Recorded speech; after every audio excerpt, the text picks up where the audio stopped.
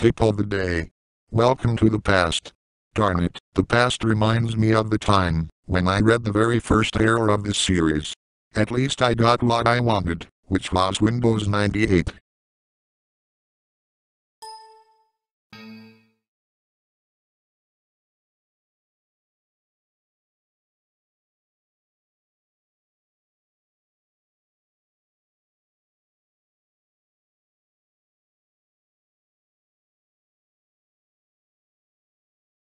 Thank you for purchasing Windows 98.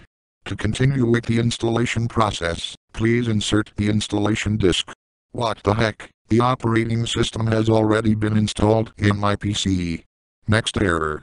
Internet Glitcher has found a way to Windows 98. Use the browser. No way, there will be another browser from Microsoft called Project Spartan. To be honest, Internet Glitcher is starting to become obsolete. DOS is running perfectly. Last time you tried to launch the application with Windows XP you should have known that XP was based on Windows NT. Oh, I see why Microsoft was offering the command prompt for any Windows version, especially those who owned Windows 2000 or later. Great. This error is designed to make you sound like a chipmunk. Oh come on. Change my voice back right now. How many bricks are there? Who really cares? Not that I do, anyways. Today's fortune. Your thoughts are unclear. However, you will restart into Windows XP. Thoughts? Oh goody, I can finally go back onto Windows XP.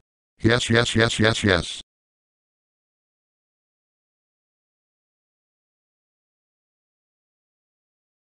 Microsoft Sam, you're back. The bad thing is, you're too early. However, you can stay here. Well, okay then. I'll stay, because this is one of the best operating systems ever. Try one. I cannot an error, so ha, joke's on you. Breaking news. There are no news. Ha ha. Dang it, I honestly thought that I'd receive some news about the first year anniversary of NTSI Man YouTube channel or something. Check your mailbox. It may be important.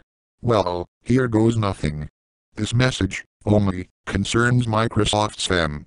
The second key clue is the fact that the keys themselves are hidden in the furthest house in your neighborhood. Wait what? I really need to walk all the way down the street? Lol what? Well, it's been one year since this channel has started.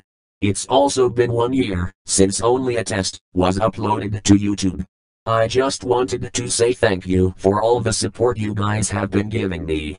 If you like what you see here, like, comment, and of course, subscribe. Until then, I will see you later.